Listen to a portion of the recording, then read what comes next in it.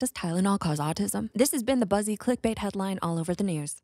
Observational research studies have reported associations between the use of Tylenol, acetaminophen, during pregnancy with an increased risk of autism. However, while the data might show an association between Tylenol and autism, there currently isn't any scientific evidence that shows Tylenol causes autism. This is key to understanding this. Correlation does not equal causation. What does this mean?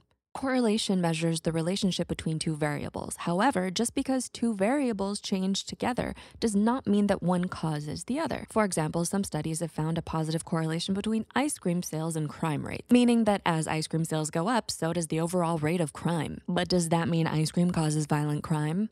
Of course not. The same principle applies to Tylenol. Just because some studies show an association with autism, it does not mean the Tylenol causes autism. Without understanding the research and what qualified medical experts are actually saying, dangerous and harmful disinformation and misinformation online can spread like wildfire.